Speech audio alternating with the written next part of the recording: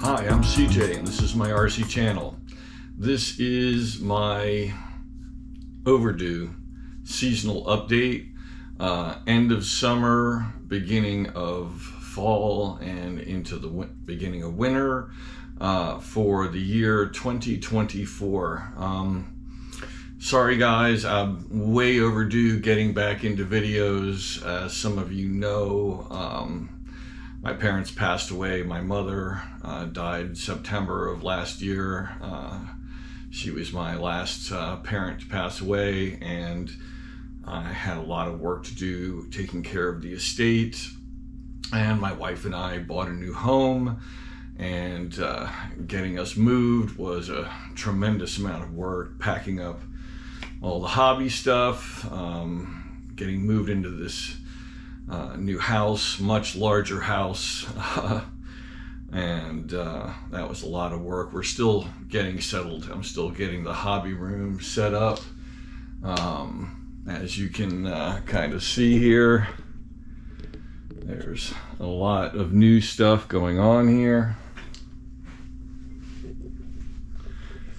So it's coming together bit by bit. Uh, there's a whole outer room uh, where I have set up a uh, mini Z track, the 50 centimeter panel, and I just ordered the widening kit for that, so it's going to be 150 millimeter wide. Um, hopefully, uh, I've already got one friend who's coming over here and driving with me. My wife's been uh, playing with the cars a little bit, having some fun with a ready set. So uh, hopefully um, I'll have a few more friends coming over to do some driving and uh, get some regular practice in. There's a couple of local places in the area that have some racing. So I'll be getting some uh, footage of that for you guys. I'm building a couple of different Mini Z cars, a couple of high-end cars. Um, one by uh, GL, uh, one by Atomic, and I'll do full builds on those. Um, interesting uh, events coming up. There is a national race being held very close by, and that is for vintage uh, off road car racing, which is uh, kind of starting to get big. Um, it's getting a lot of buzz, a lot of people are getting interested in it. Um, so I picked up three cars. One of them has yet to arrive, should be here in a couple of days. Uh, I have the Associated RC10T. Uh, the one that hasn't arrived yet is the original RC10 Gold Pan. Um, and uh, for the all-wheel drive buggy class, the uh, the Super Dogfighter four-wheel drive Yokomo YZ870C.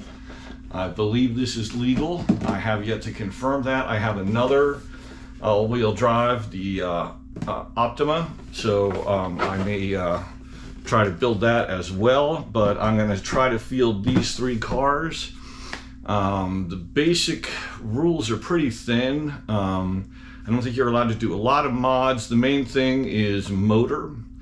And for the two-wheel drive, uh, buggy and truck, 17.5 brushless motors. Electronics are pretty much whatever you want. So you can use a high-end ESC, which is going to allow for a lot of programmability. I think that's going to be the main advantage, uh, is going to be trying to dial that ESC so um, you get a lot of control out of that power system uh, set it up so that uh, it's not uh, brutalizing the powertrain, breaking things. Um, these cars are going to be very delicate compared to uh, current day vehicles. So uh, it's going to be a lot of fun. let's see.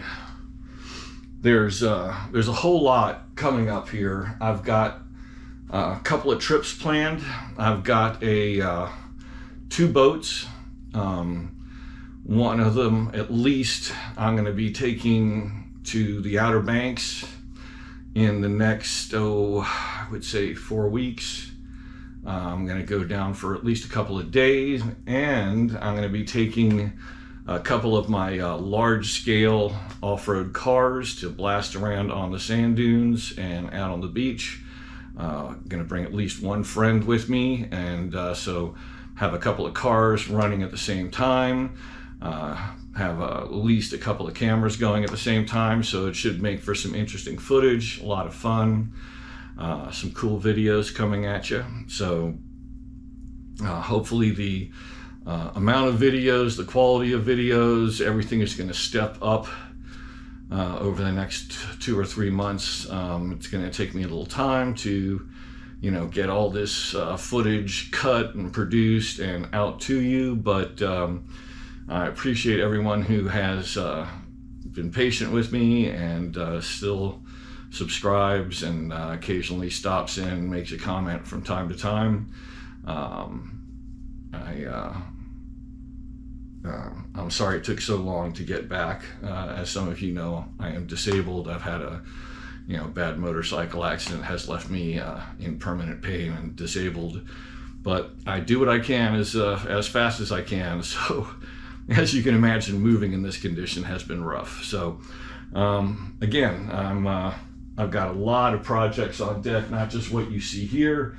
Uh, I've been doing some building. Um, but I've got a lot of airplanes. Um, I've got a lot of cars, uh, crawlers, everything. I've been stocking up kits that I've been wanting to build and just putting them away for when I had time and uh, waiting for the, uh, the, the hobby basement to get finished. So um, can't wait to uh, get all this stuff done and out to you guys. So um, please uh, click like, please subscribe if you haven't already, and uh, get ready for some fun videos and some great builds.